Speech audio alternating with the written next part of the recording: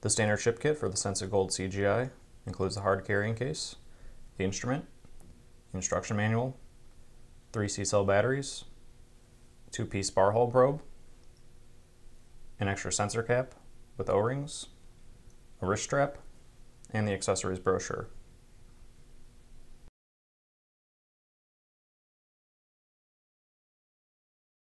To install the batteries, we need to remove the battery sleeve by depressing the locking tab.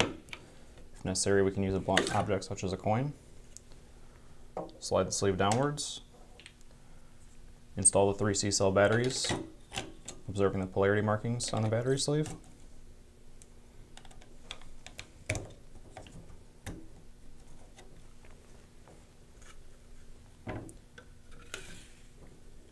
Reinstall the battery sleeve. And then we can then power the instrument on by pressing holding the A button until the screen illuminates. There will be a system check, followed by a brief warm-up period. The instrument will then auto-zero, and we will be at the working display with our gas readings.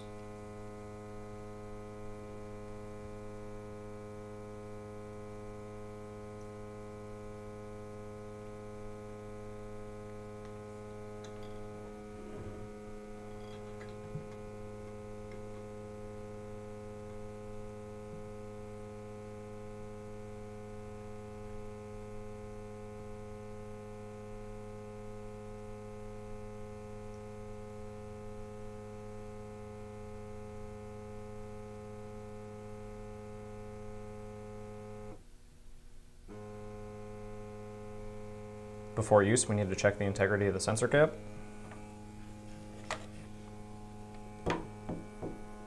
If the filter in the cap is torn or excessively dirty, it needs to be replaced. We also need to do a flow block check. We can do that by blocking the inlet with a finger and ensure the instrument indicates flow blocked.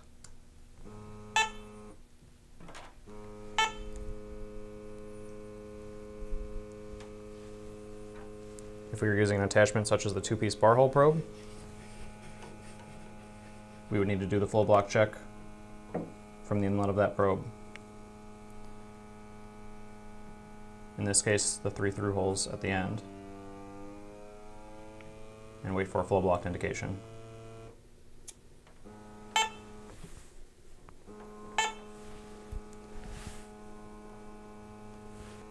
During use, pressing and releasing the A button will mute an alarm, Pressing and releasing the B button will access the quick menu.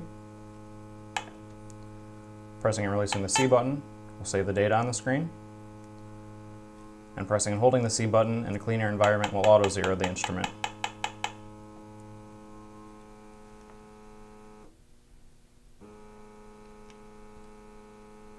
To turn on the tick feature,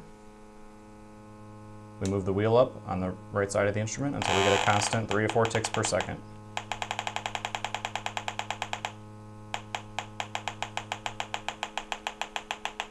As the instrument comes across the presence of gas, the tick rate will increase. To turn off the tick feature, turn the wheel back until it clicks. If at any time you get an NSR indication on the screen, that stands for non-standard response and indicates that the instrument has come across a gas other than what it is calibrated to. After our investigation is complete, allow the instrument to clear out in a clean air environment Return the gooseneck to the storage position, wrapping it counterclockwise around the instrument. And power the instrument off by pressing and holding the A button.